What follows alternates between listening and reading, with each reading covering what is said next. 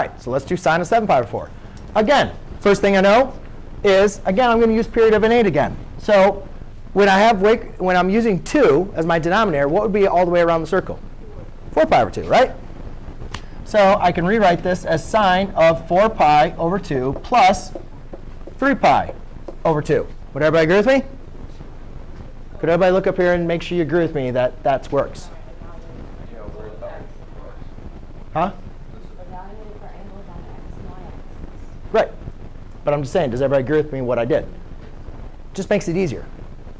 Because 4 pi is what? A circle, right? So we don't really need to do that extra circle. So what is coterminal with 7 pi over 2? Sine of 3 pi over 2. Well, on your unit circle, here's pi over 2. 4 pi over 2. Remember, all the way around, guys, is equal to what?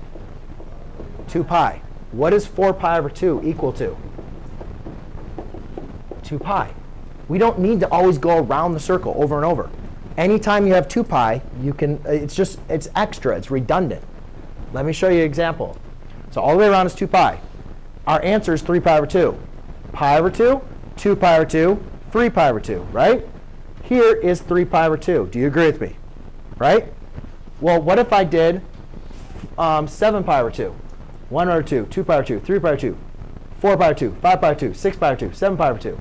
So what happens is when you go around, it's doing all these extra circles. So by crossing this out, all I'm doing is like eliminating the extra circle. They're coterminal angles. They have the same initial and terminal side. It just makes it easier. You don't have to do it. It just makes it easier. So here's our coordinate point. My coordinate point is 0, comma negative 1.